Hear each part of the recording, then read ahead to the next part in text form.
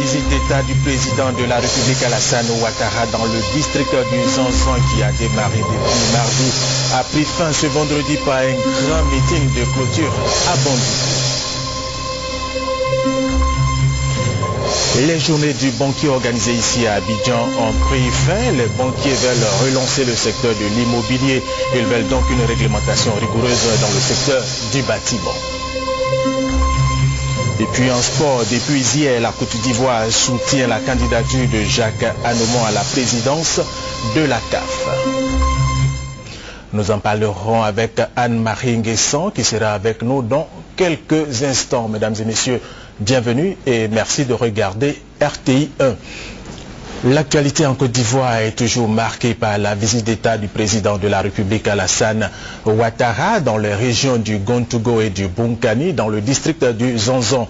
La dernière étape de cette visite d'État du chef de l'État a eu lieu ce vendredi matin au stade de Bondoukou. David Mobio. Pendant la campagne présidentielle en 2010, le candidat Alassane Ouattara a promis revenir dans la région du Zanzan. Depuis le mardi 27 novembre dernier, c'est chose faite. Le candidat devenu président de la République termine sa visite d'État ce vendredi dans le département de Bondoukou. Le président Alassane Ouattara est donc arrivé ce matin aux environs de 10 heures dans la ville aux mille mosquées au cœur du Grand Zanzan. Dernière étape de sa tournée d'État démarrée par un premier meeting dans le département de Bouna. À Bondoukou ce matin, le président est revenu sur ce qu'il considère comme étant prioritaire, le vivre ensemble, la paix, le développement économique. Le chef de l'État a donc invité l'ensemble des Ivoiriens au pardon. Nous devons travailler à réconcilier les Ivoiriens, à rassembler tous nos compatriotes. Et je suis heureux de voir que la vie se normalise, la sécurité revient et l'État est au travail. Bien entendu, nous ne sommes pas à la vitesse de croisière. Nous-mêmes, nous ne sommes pas encore satisfaits. Mais voyez-vous, euh, vous m'avez élu pour un mandat de 5 ans. J'en ai fait 18 mois. Donc il me reste 3 ans par la grâce de Dieu et je vais être conforme aux engagements que j'ai tenus. Je respecterai ces engagements durant les 3 ans qui me restent dans mon mandat. Et pour cela, nous avons besoin de paix. Nous avons besoin que la Côte d'Ivoire retrouve la paix qui a tant marqué notre histoire pendant des décennies avec notre père, fait le président Félix Houphouët-Boigny. Je voudrais vous exhorter en même temps au pardon. Vous voyez, c'est en pardonnant sincèrement, c'est en acceptant le pardon des autres c'est en faisant en sorte que nous puissions nous comprendre à nouveau, que nous puissions nous dire qu'une page est tournée et que le pardon et la repentance amèneront tous les Ivoiriens à se réconcilier et à travailler ensemble dans la paix. Oui, la Côte d'Ivoire a besoin de paix, d'une paix durable. Et je continuerai de tendre la main et de travailler à cette réconciliation. Car sans paix, il n'y a pas de développement. Et nous en avons l'exemple partout dans le monde. Nous devons continuer de nous faire confiance. Nous devons retrouver cette spontanéité d'affection, d'amour qui a tant marqué les Ivoiriens et la Côte d'Ivoire. Avant le message d'espoir du président, les porte-paroles des populations ont dit que le Zanzan dans son ensemble tient à la paix et soutiendra le président de la République dans sa volonté de repositionner la Côte d'Ivoire sur la voie du développement économique. Et pour retenir définitivement le président dans le Zanzan, Alassane Ouattara a été baptisé Kouam Brignan avec les attributs qui font de lui un fils de la grande région du Zanzan. Et lors du meeting de Bondoukou, le chef de l'État a délivré un message de paix, de réconciliation et surtout d'espoir. Il a aussi informé les populations qu'il mettra tout en œuvre pour le retour de la radio et de la télévision dans tout le district du Zanzan. Nous vous proposons ce télégramme justement du président de la République Alassane Ouattara, son homologue de la Roumanie, avant de poursuivre cette euh, édition. Monsieur le Président, à l'occasion de la célébration de la fête nationale de votre pays, il m'est particulièrement agréable de vous adresser au nom du peuple et du gouvernement ivoirien, ainsi qu'à mon nom propre, mes très vives et chaleureuses félicitations. J'ai joint en cette mémorable circonstance des vœux choisis de bonheur et de santé pour votre excellence ainsi que de concorde, de prospérité et de paix pour le peuple ami de Roumanie. Je voudrais saisir ce moment pour vous assurer de mon entière disponibilité à œuvrer de concert avec vous au renforcement des liens d'amitié et de coopération entre nos deux pays pour le bien-être de nos populations respectives. Très haute considération Alassane Ouattara, président de la République de Côte d'Ivoire. Les banquiers de Côte d'Ivoire ont réfléchi pendant 48 heures sur la possibilité de relancer le secteur de l'immobilier. Pour y arriver, ils souhaitent une réglementation rigoureuse du secteur du bâtiment. Noël Nyagno. 48 heures, 3 exposés, 4 panels ont permis aux banquiers de réfléchir sur la contribution des établissements de crédit dans le financement du logement. À cela, ils ont associé les expériences marocaines et françaises. En France, c'est la première garantie, qui représente à peu près 60% du, marché. Et nous, Crédit Logement, on fait à peu près un tiers du marché. Et euh, gros avantage de ce système, c'est que vous avez deux garanties, ce qui permet d'offrir un plus grand choix euh, aux prêteurs et aux particuliers, ce qui permet de mieux sécuriser le, système du financement du logement et qui euh, permet également de développer de façon de développer commercialement l'activité. À l'arrivée, un constat, le terrain est nu, sans aucun repère, absence de vision globale de l'État pour le logement. Les banquiers ont donc fait des recommandations portant entre autres sur les exonérations et la mise en place de conditions permettant la construction de logements. Les banques doivent faire preuve de plus d'imagination, également doivent prendre des décisions structurelles de renforcement de leur capacité d'intervention au niveau du renforcement des fonds propres, mais l'État également doit être à l'initiative en facilitant l'accession à la propriété à travers la délivrance des titres de propriété inattaquables et également une incitation au niveau de la fiscalité. L'une des pistes de la feuille de route de Kabaniale, ministre délégué aux finances, a été prise en compte. La question de l'hypothèque et du crédit à long terme. Nous, nous allons chercher l'argent sur les durées les plus longues, parce que vous, comme vous le savez, dans nos pays, le niveau moyen de revenu n'est pas particulièrement élevé. Donc il faut étaler les remboursements sur une longue période pour permettre à la moyenne des gens de pouvoir payer leur, les mensualités de leur logement sans s'étouffer. À l'occasion de la clôture de cette rencontre, 20 dirigeants de banque ont été honorés avec un cachet spécial à feu Joachim Richemont parce qu'il a su insuffler à la banque en Côte d'Ivoire et en Afrique un dynamisme et permis la promotion de cadres ivoiriens et africains. Autre information, les industriels de la filière oléagineuse de l'espace UEMOA réunis au sein de l'AIFO étaient en conclave ici à Abidjan. Ils ont réfléchi sur les difficultés qui mènent leur secteur d'activité, mais également sur les stratégies pour rendre leur secteur dynamique. Hermani Amia et Alexis Ouedraobo. Les industriels de l'oléagineux de l'espace UEMOA dans la tourmente. Concurrence déloyale des produits importés, contrebande massive, manque de matières premières, non-application de la réglementation et des actions anti-huile de palme initiées en Europe. Autant de difficultés qui inquiètent les professionnels du secteur. Réunis à Abidjan pour leur 12e assemblée générale, les industriels de la filière appellent à l'union sacrée en vue de lutter contre leur principale difficulté, la fraude dans la sous-région avec l'entrée massive d'huile asiatique à moindre coût. Aussi exhortent-ils les gouvernants à réduire les frais douaniers et à accroître les contrôles aux différentes frontières pour éviter l'entrée massive de produits frauduleux sur les marchés de l'UMOA. Nous avons beaucoup de difficultés, comme manque de matières premières récurrents qui pourra être réglé par une meilleure planification et des programmes agricoles pertinents bien encadrés par les États. Et aussi, nous subissons des importations d'huile asiatique qui rentrent beaucoup en fraude hein, dans, nos pays, rentrant en compétition avec nos, pays.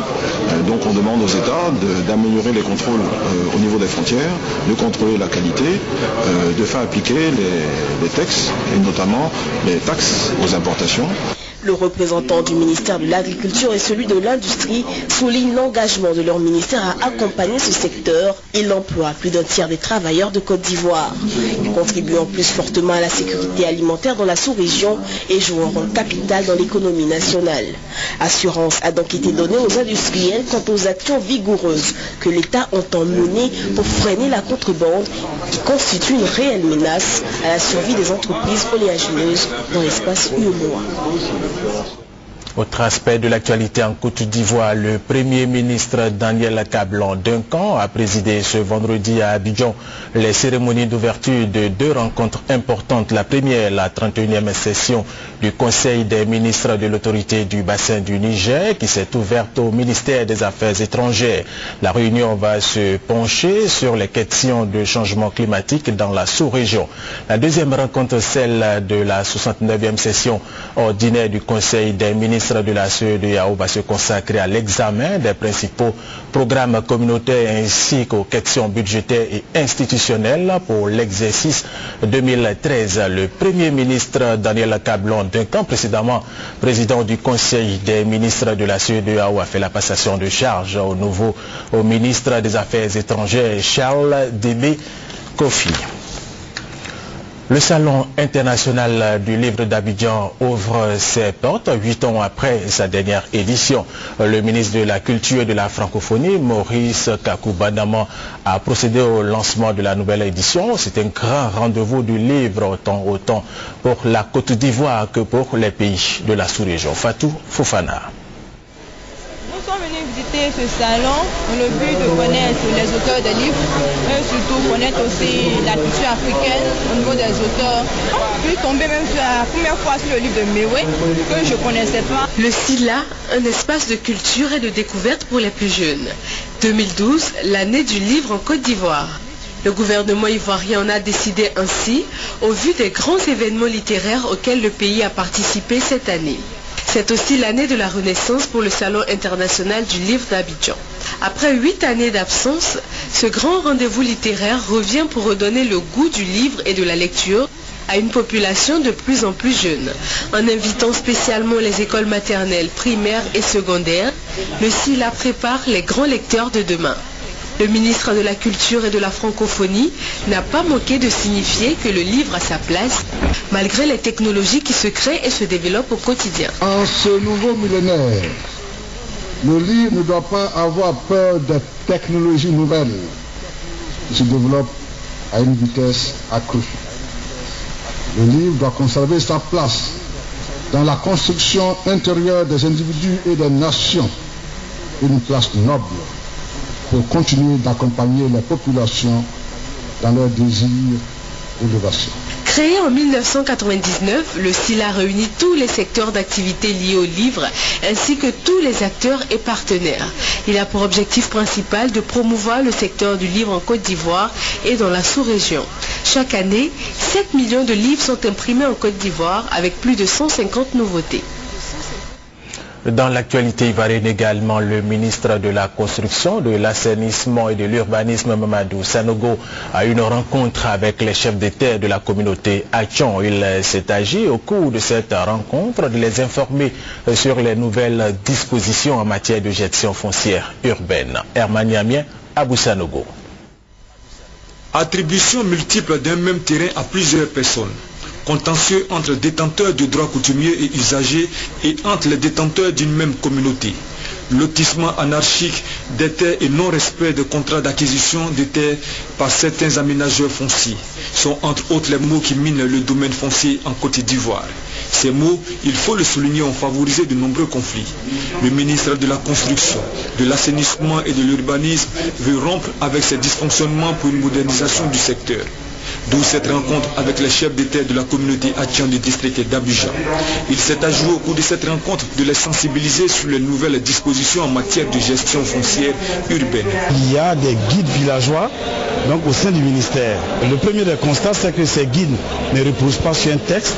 Il y a souvent des contestations qui font que les Ivoiriens qui achètent des terrains sur la base de ces guides se trouvent face à des contentieux récurrents. Et nous avons décidé donc de réduire ou sinon mettre fin euh, au projet de lotissement villageois qui se font dans le périmètre du plan d'urbanisme directeur. Si nous voulons que le plan d'urbanisme directeur soit respecté, il faut absolument que ce soit des aménageurs privés agréés. Nous, notre souhait, qu'il y ait une, commission mixte, c'est-à-dire euh, euh, ministère et puis la chefferie pour éviter tous les désagréments que nous avons connus par le passé. Sinon, ce que le ministre a dit, nous, sommes favorables à ça. Ces nouvelles mesures, selon le ministre Mamadou Sanogo, visent à valoriser les terrains des communautés villageoises et à sécuriser leurs intérêts. Aussi, les détenteurs de droits coutumiers devront-ils désormais s'adresser aux aménageurs fonciers agréés pour les projets de lotissement dans les zones relevant des plans d'urbanisme directeurs? La journée mondiale de la pêche, c'était la semaine dernière avec Honorine Kakubla à Nigori. Nous revenons euh, sur cette euh, journée qui a pour thème la contribution de la pêche artisanale à la sécurité alimentaire et à la réduction de la pauvreté. C'est par une démonstration de pêche artisanale sur la lagune ébriée du côté du palais de la culture de Trècheville qu'a démarré cette journée mondiale de la pêche artisanale. Créée en 1997, la journée mondiale de la pêche offre l'opportunité de réunir l'ensemble des acteurs, opérateurs économiques, décideurs politiques et ONG pour réfléchir sur deux thématiques. Le rôle des femmes dans la pêche artisanale pour garantir la sécurité et la contribution de la pêche artisanale. Quand on sait qu'en Côte d'Ivoire, le secteur de la pêche emploie directement plus de 70 000 personnes et pourvoit indirectement à la subsistance de 400 000 personnes avec une consommation par habitant de 15 kg de poissons par an, quand on sait aussi que les poissons capturés au niveau national ne représentent que 20% de la consommation locale selon le ministère des Ressources halieutiques et que le reste est importé, on comprend pourquoi les pêcheurs souhaitent que les décideurs prennent en compte l'importance de la pêche artisanale dans les politiques et stratégies de développement du secteur des pêches. Ce sont des professionnels de la pêche artisanale en provenance du Sénégal, du Togo, de la Mauritanie, de la Guinée-Bissau, de la Guinée-Conakry et de la Côte d'Ivoire qui ont échangé leurs expériences au cours de cette journée mondiale de la pêche artisanale pour restructurer le secteur. Le président de la commission Dialogue, Vérité et Réconciliation, Charles Konabani, a rencontré les membres du réseau ivoirien des femmes pour la réconciliation et la cohésion sociale. C'était à Yopougon, Belay. Il les a engagés à s'approprier le processus du vivre ensemble. Francis Boifo et Kwasi Mamadou. Faire de la réconciliation leur cheval de bataille, c'est l'engagement pris par les membres du réseau ivoirien des femmes pour la réconciliation et la cohésion sociale devant Charles Konombani. Le président de la commission Dialogue, Vérité et Réconciliation se dit satisfait de l'initiative de ce réseau de femmes à accompagner son institution dans sa mission de pacification de la Côte d'Ivoire.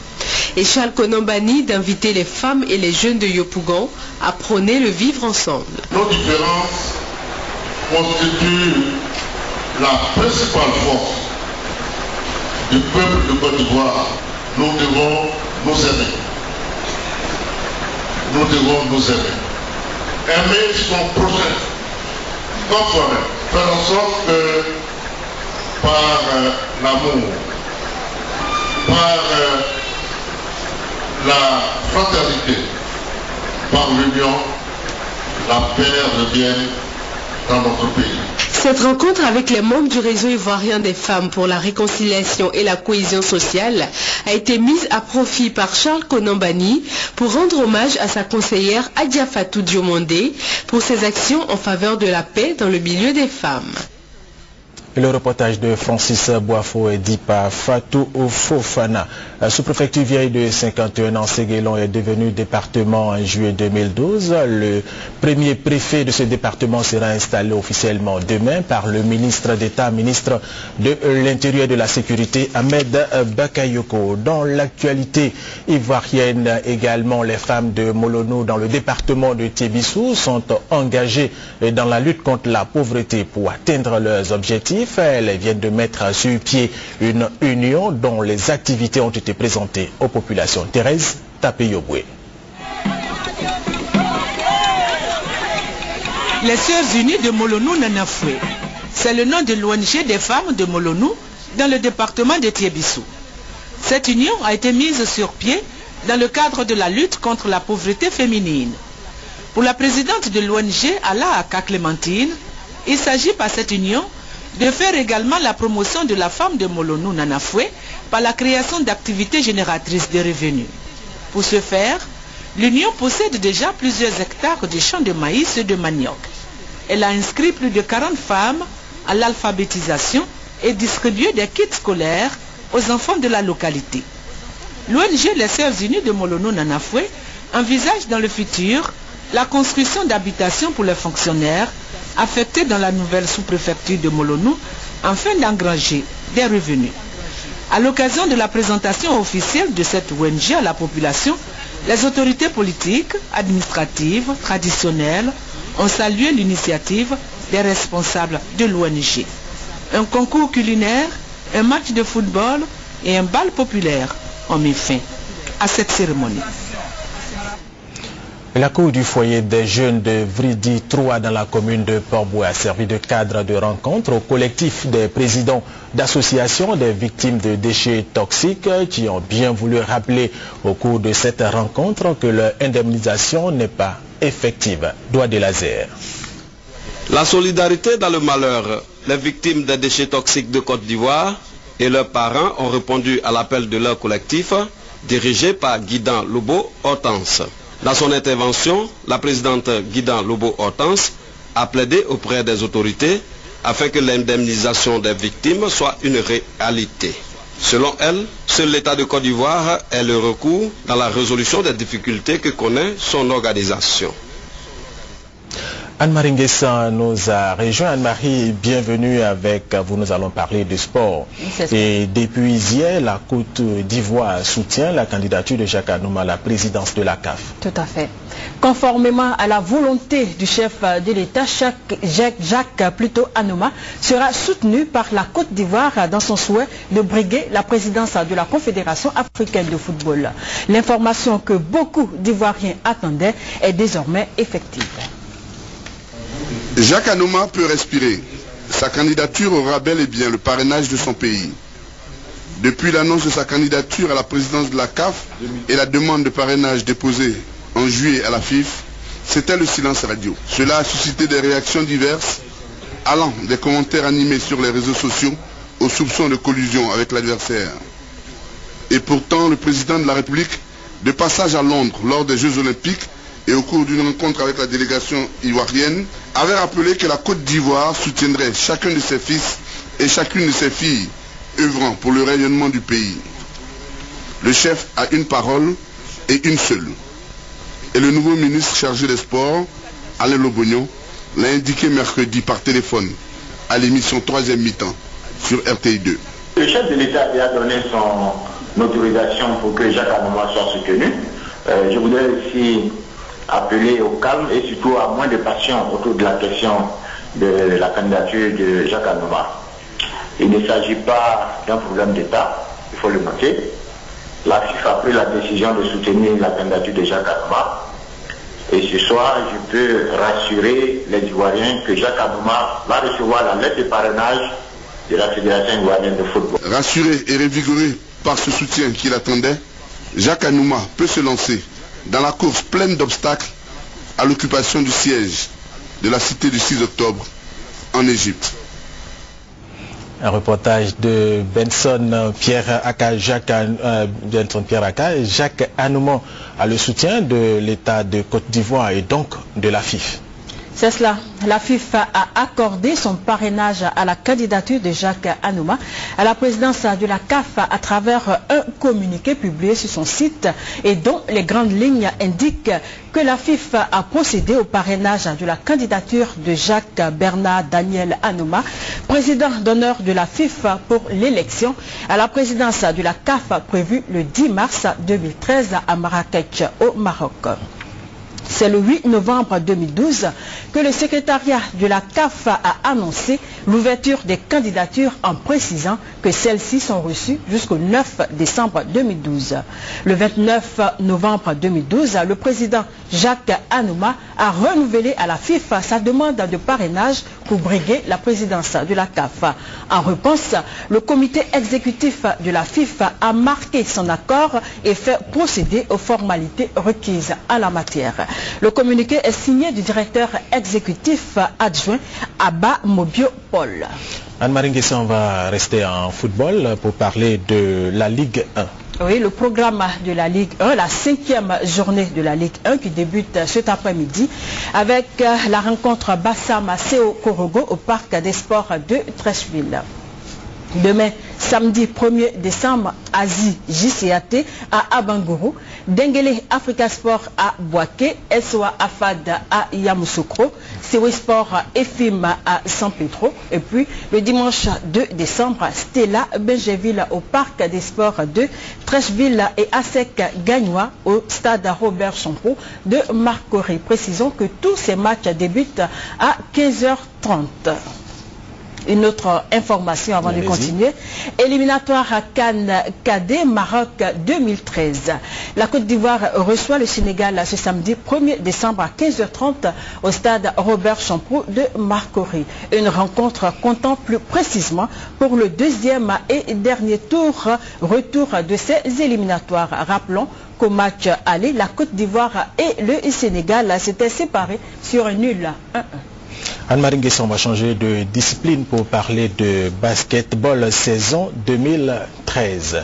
La Fédération ivoirienne de basketball a procédé mercredi au lancement de ses activités de l'année 2013 au plateau. Et c'était en présence de l'ambassadeur Georges Wignet et du professeur Alain Ekra. Daniel Kwebi, lui, y était pour vous. Ce lâcher de balles ouvre la saison 2012-2013 de la Fédération ivoirienne de basketball. Anciens présidents de fédération, anciens joueurs, acteurs, journalistes et partenaires ont été officiellement conviés à une sympathique cérémonie à la salle des fêtes du Sec du Rail au plateau. Le décor, un panier de basket, une zone restrictive, une galerie photo pour présenter les anciens présidents de la fédération, de Georges Wognet, le premier, à Tourébou Bakari, en passant par le professeur Alain Ekra et Alphonse Billet. La cérémonie elle-même débute par une prière pour confier la saison et les acteurs au Tout-Puissant. Au titre des allocutions, le président Touré Boubakari, faisant le bilan d'une première année d'exercice, se dit satisfait des résultats obtenus. On retiendra de ce bilan que l'ABC chez les hommes est le champion de Côte d'Ivoire 2012. Chez les dames, le CSA sur 6 clubs est champion en titre. En National 2, le GSPM champion accède à la première division et chez les dames N2, ce sont les équipes de sympathie et de génération qui montent en N1. Au niveau international, l'ABC et le CSA chez les dames se sont classés respectivement 3e et 5e à la 18e Coupe d'Afrique des clubs champions d'Abidjan. Les U18 sont qualifiés pour le mondial des U19 de Prague après leur deuxième place obtenue à l'afrobasket de la catégorie à Maputo au Mozambique. Les seniors dames, quant à elles, sont allées arracher leur qualification à Ouagadougou pour l'afrobasket 2013 qui aura lieu au Mozambique. Le reportage de Daniel Kwebikwalo et Dipa, Cathy et Touré du taekwondo maintenant avec la cérémonie d'ouverture de l'Open féminin.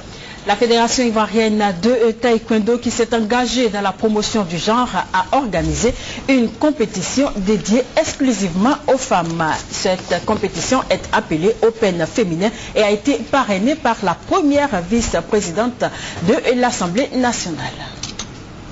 Célébrer la femme sportive en général et la taekwondoïne en particulier et surtout rendre un hommage à la femme émérite à l'image de la marraine de cette deuxième édition de l'Open féminin, l'honorable Fatika Sako Sara, première vice-présidente de l'Assemblée nationale et d'autres illustres dames de la Côte d'Ivoire, notamment les ministres Kofi Goudou Raymond de la Santé et de la lutte contre le sida et Afoussi Bambalamine de la communication, la première femme générale militaire Kwame Akissi et l'éminente professeure Didi Wanja, première femme agrégée et docteur d'État en mathématiques en Afrique.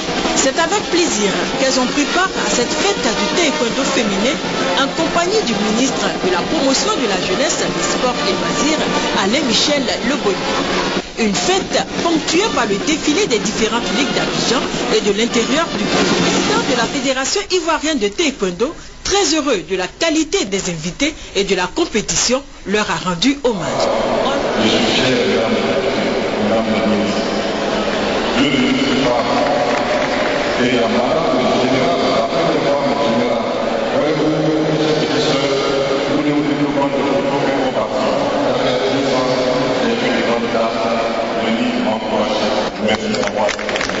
Honneur a été aussi rendu aux champions d'Afrique 2012.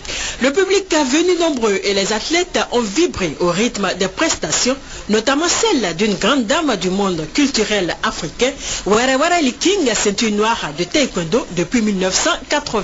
C'est par une démonstration de l'équipe féminine de la fédération qu'a pris fin cette cérémonie d'ouverture de l'Open féminin de taekwondo.